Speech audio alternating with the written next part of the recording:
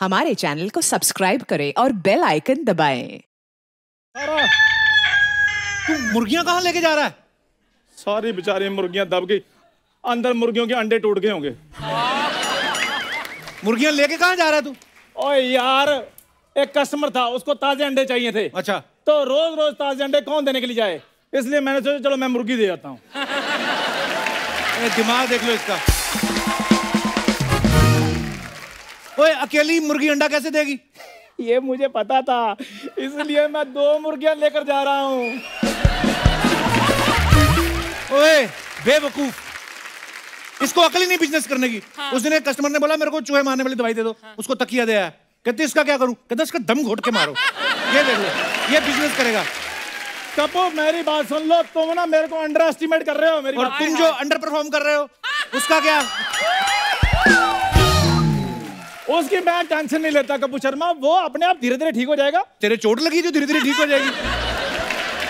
कपूर शर्मा मेरी बात सुन लो एक ध्यान से। हाँ। इस साइकिल पर देखना मैंने सामान बेच बेच कर मल्टीनेशनल कंपनी बनानी है। अच्छा साइकिल पे सामान डिलीवरी करके बनाएगा कंपनी हाँ लोग साइकिल से सरकार बना सकते हैं मैं क्या कंपनी नहीं बना सकता?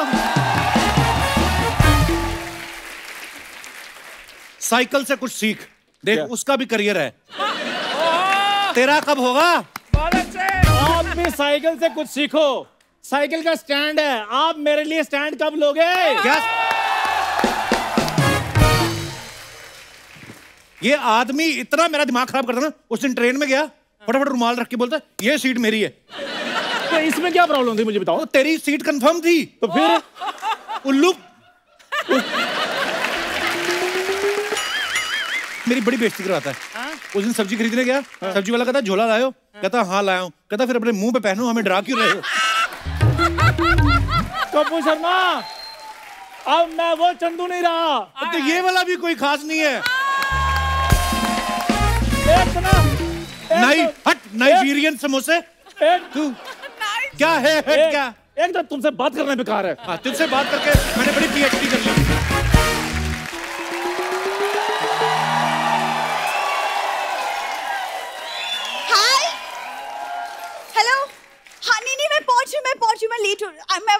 पहुँचती अभी पहुँचती हूँ। Yes. ओए ओए ओए बुरी आज तो तुम जहर लग रही हो।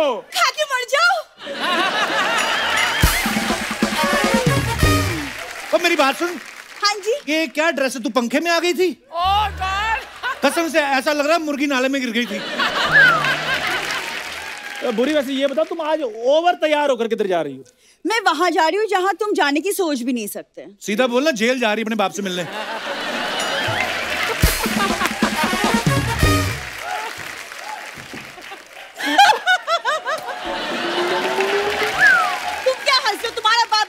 बैठा हुआ है। तो मेरा बाप तो तुम्हारे लिए रिश्ता लेकर गया था। तुम्हारे बाप ने उधर बिठा लिया। और मेरी बात सुनो। और तुम दोनों छोटी मोटी चोरी करके तुम भी जेल चले जाओ। तुम्हारा बाप कन्यादान कर देगा और तेरा तो वैसे दान लेता रहता है। डेस्टिनेशन वेडिंग हो जाएगी तुम्हारी। ये सही बात है। डेस्टिनेशन वेडिंग उधर हो जाएगी और मीडिया भी हमें परेशान नहीं करेगा। मीडिया तो तुम्हें कभी करता भी नहीं तुम मीडिया को करते हो। बुरी मेरी बात सुनो। डील डन हो गई है और तुमने ड्रेस भी वैसी पहनी हुई है। एक्सक्यूज मी ऐसे ड्रेसेस मॉडल्स पहनते हैं तो तुम्हें फिर कोई तुमने क्यों पहनी है? इसकी मॉडलिंग का मैं बताता हूँ। जहाँ मॉडलिंग होती है ना वहाँ चली जाती है। हाँ। अब लड़कियाँ जाती है मॉडलिंग करने यूँ करके मॉडल है ना? हाँ। उसके बाद वापस पलट जाती हैं। ये वापस नहीं पलटती ये सीधा भाग जाती है।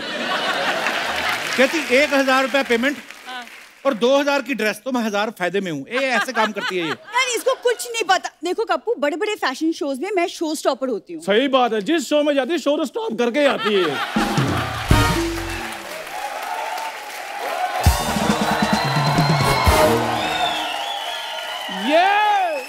ड्रेस भी ऐसी पहन के जाती है इसलिए शो स्टॉप हो जाते हैं। ओ तुम्हें तो फ़ैशन का कोई सेंस है ही नहीं। फ़ैशन का कुछ पता है ये आज के जमाने का फ़ैशन है सब ये खाची से ली है। ओए मलाड वाला सबवे नहीं है? उसके नीचे इसकी चाची बैठती तेरह रुपए में कुर्ता सिलती है। ये उसने सिल के दिए झूठ बोलती है? यार तुमको ना फ़ैशन का कुछ नहीं पता कप्पू। यार कुछ नहीं इसको बड़ा पता है फ़ैशन का। ए, क्यों पहनती है ऐसे कपड़े? तुम फ़ंक्शन में पहुँच जाओगी? ऐसे ड्रेसेस मेट गाला में पहनते वहाँ पे चार लोग होते हैं जो ये ट्रेन पकड़ते हैं पकड़ो।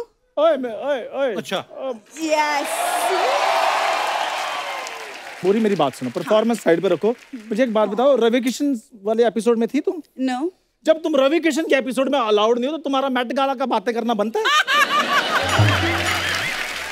हटो! मेरे को टाइम पे सामान डिलीवरी देने के लिए जाना है। टाइम पे डायलॉग तो डिलीवर होता नहीं चला सामान डिलीवर करने। ओए तेरा मैट गाला बिखर रहा है। नीचे देख। और तुम्हें शर्म नहीं आती है कि जवान लड़के की डायलॉग डिलीवरी देखते हुए? क्या क्या क्या? और तुम्हें शर्म नहीं आती एक जवान लड़के की डायलॉग डिलीवरी देखते हुए? पहले बोल लो ना है। डायलॉग डिलीवरी ठीक से पहले बोल लो ना। हाँ। You should just go to hell और तुम्हारी वजह से मैं लेट हो रही हूँ मुझे शादी में जाना है। तो शादी में अकेली जा रही हूँ दूल्हे को नहीं लेकर जाना साथ में? दूल्हा तो चलो वहाँ पे मिल जाएगा घोड़ा तो ले जाओ साथ में। बुरी और तुम्हारे होने वाले पति को घोड़ा बोल रहा है कुछ तो बोलो। इस उम्मीद में मत रहना कि मैं तुम्हें चना खिलाऊँगी। तो कोई बात नहीं फिर शादी का खाना खिला देना काफ़ी टाइम हो गया खाना खाए हुए। तुम्हारे जैसे लोग अलाउड नहीं it's a big fat Indian wedding big fat Indian wedding ये सारे मोटे मोटे लोग आएँगे उधर। बिग फैट इंडियन वेडिंग मतलब अमीरों की शादी। तुम्हें अमीर लोग कब से जानने लगे? फ्रेंड सर्कल में सारे अमीर ही हैं चंदू। फ्रेंड सर्कल में तुम्हारे में, में, ये जो जुहू सर्कल पे खड़े हो गए ऐसे ऐसे करती है उसको फ्रेंड सर्कल नहीं बोलते?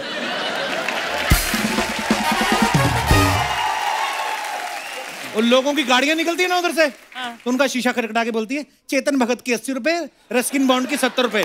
फ़र्स्ट कॉपी बुक बेचती है ये। असली बुक पढ़ती है उसको पढ़ पढ़ के खुद हाथों से लिखती है। तीन साल में अस्सी रुपए कमाती है ये। एक सेकंड चेतन भगत की बुक नब्बे रुपए। रस्किन बॉन्ड की एक सौ बीस। Get your facts right Kapoor. तो बताया था मैंने आपको। और तुम तुम तुम गए हो कभी किसी बड़ी सी शादी में जो तुम हंस रहे हो यहाँ खड़े होके? हाँ? मैंने अकेला सारे हंस रहे हैं। ओए तू कभी अमीर शादी में गया? मैं गया था लेकिन कोई फ़ायदा नहीं। घाटे का सौदा होता है। क्यों? मेरे को कहने लगा एयरपोर्ट पे गाड़ी भेज देंगे तो तो अच्छी बात है। कहाँ अच्छी बात है? मैं गया ट्रेन में था। आगे से फिर नौ सौ रुपए की टैक्सी करके मैं एयरपोर्ट पे गया। तेरह सौ रुपए मेरे को वेडिंग पड़ी। शगुन डाला वो अलग से। लेकिन एक बात है अमीरों की शादी में गुलाब जामुन खत्म हो जाए तो उसी टाइम आ जाते हैं। हम जैसों की शादी में अगर गुलाब जामुन खत्म हो जाए लोग कहते हैं नहीं नहीं, छोड़ो छोड़ो इधर फेरे शुरू हो गए आओ। इन लोगों का ध्यान खाने पे रहता है। इसके चाचा की शादी, पंडित कहता है, जल्दी करो, मुहूर्त निकला जा रहा है। कहता तुम्हें मुहूर्त की पड़ी? उधर गरम गरम पूड़ियाँ निकली जा रही है। ये पूड़ियाँ ऐसे खाने गया, उनकी दुल्हन भी निकल गई। और इनके जब चाचा की शादी हुई, ओह, पंडित कहते हैं, चलो जी, चलो, अब मंगलसूत्र को दुल्हन के गले में डालो। कहता हूँ, इतना महँगा बनाया, मैं अपने गले में ना डालूं। और मैं इसके पापा को ही चाचा बोलता हूँ। तुम लोग की बातें खत्म नहीं होने वाली मैं बहुत ज़्यादा लेट हो रही हूँ बारात आ जाएगी। ए, इधर बात सुन इधर शादी में जा रही शादी में शगुन वाला लिफाफा दिखा। ये देख एक मिनट दिखा मेरे को। यहीं से पता चलता है चीज़ें मांगी हुई हैं। मैच ही नहीं कर रही।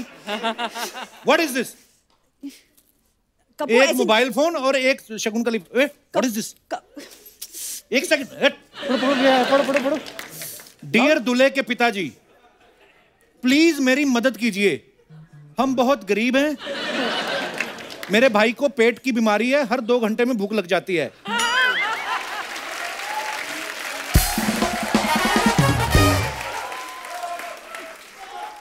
हर संडे के संडे जूस भी माँगता है। कृपया आप मुझे पचास हज़ार दे दीजिए मेरा भाई दुआ देगा। ये करने जा रही शादी में तू। लोगों का लिफाफा नहीं लेते। बुरी बुरी मेरी बात सुनो। तो For more updates, subscribe to our channel, click the show links and enjoy watching the videos.